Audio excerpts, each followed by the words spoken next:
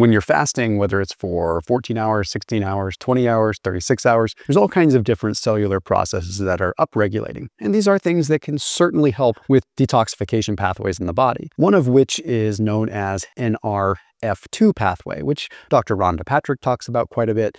Bottom line is, we know that there's evidence there, and this can happen even with caloric restriction. You're upregulating these antioxidant pathways. Antioxidants obviously neutralize or get rid of pro-oxidative stress. But how does this actually align with detoxification itself? Well, we'll explain that, but what I want to talk about is how we can utilize moringa after a fast. It's imperative you don't take it during a fast. We'll kind of talk about how this works and how you can utilize it, the mechanisms, the best sort of course of action, when to take it, when not to take it. If you don't mind, drop a quick comment down below for the algorithm. It really does help these videos get out there in front of people. And again, I like to share what I'm talking about up front. So if you got the hint that it's moringa, that's great, but I still ask that you stick around to learn because that's really what we're all here to do. I also popped a link down below for Armra Colostrum, which is what I would say one of the most important supplements when you are fasting. And the reason is, is because after a fast, your gut barrier integrity is a little bit compromised. And that's what colostrum is really most noted for is gut health and gut barrier integrity.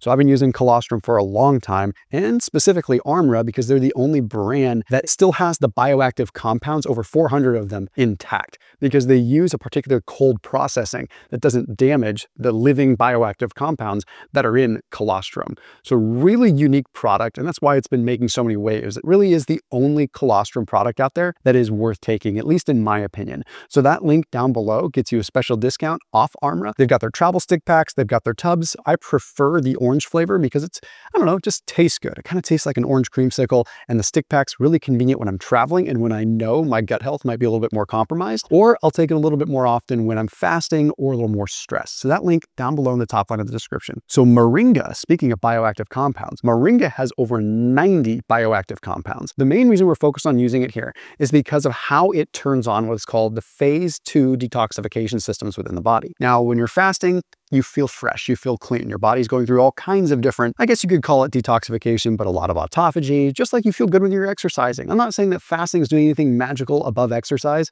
quite frankly. I'm just talking about it's attainable for people. But I want you to think of your body as sort of having this padlock, and your padlock is always locked, except when you activate NRF2. And NRF2 can be activated through fasting, through sauna, through even some cold plunge, through good diet, through low carb, many ways to activate it. But then there's certain compounds compounds like sulforaphane that we'll find in cruciferous vegetables or moringa that activate it. One of the things they do is they sort of unlock this padlock. And when this padlock is unlocked, you have a steady stream of NRF2 that floods in. And NRF2, which I'll explain in detail in a little bit, essentially is turning on these anti-inflammatory and reactive oxygen species neutralizing systems. But what's happening a lot of times is when the NRF2 floods in, it gets disabled by something called KEAP1. And this is like a self-regulating system because we do need a certain level of oxidative stress too it's a fine balance within the body. Now, what Moringa does is it unlocks the padlock, so lots of NRF2 floods in, but then it also stops the KEAP1 from stopping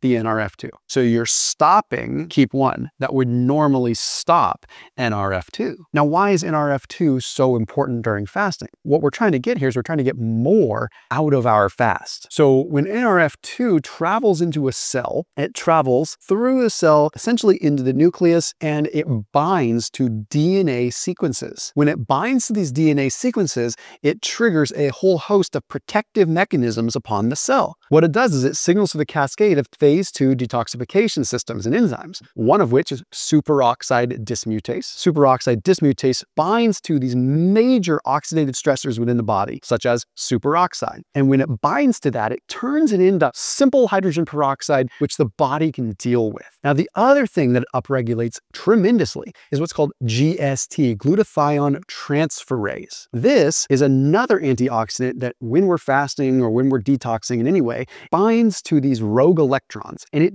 donates part of itself to that electron in order to neutralize it. And then it goes through this recycling system again, sort of recharges or becomes strong again to neutralize. Without NRF2 activated, we cannot have that system occurring. So I want you to think about fasting and periods of time when you're fasting and you get really weak. It actually feels like it's wearing you down more than it's helping you. Those are the times when you might need the extra help. Fasting is supposed to make you feel good. If it starts making you feel cruddy, it means you're going too far. Now, here's the important thing to know because I hope you're sticking with me on this. Fasting is a stressor to the body, period. It acts as a hormetic stressor. When you're fasting, these hormetic stressors trigger the body to increase its antioxidants to deal with the stressors. So when you are fasting, you would not want to take moringa, not during a fast. If you've seen some of Jed Fahey's discussions, especially with like Rhonda Patrick on moringa, he talks about this. Like he kind of thinks of moringa as almost this hormesis, like simulating or creating this environment where the body will want to have more antioxidant capability. Because remember, what's unique about moringa is it's increasing our body's own antioxidant pathways. It's not an antioxidant in and of itself. So would you want to take it during a fast to increase it more?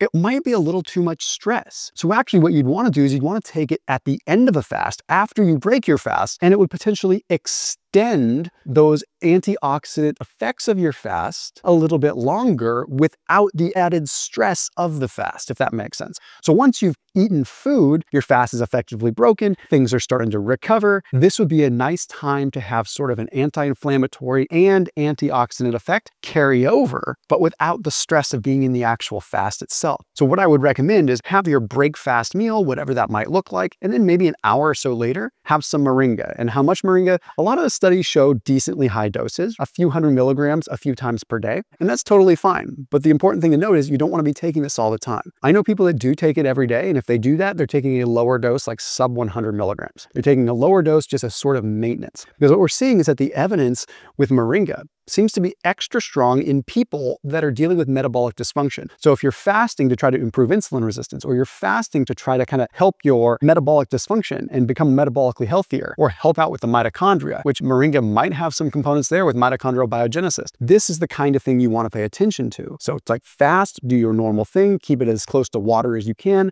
break your fast with some lean protein. Later on, add the moringa to kind of extend the benefits of the fast, extend that NRF2 effect. If you really wanted to double it up, you could also add some cruciferous vegetables too, because sulforaphane works on a different pathway within NRF2. So you get like a double whammy there.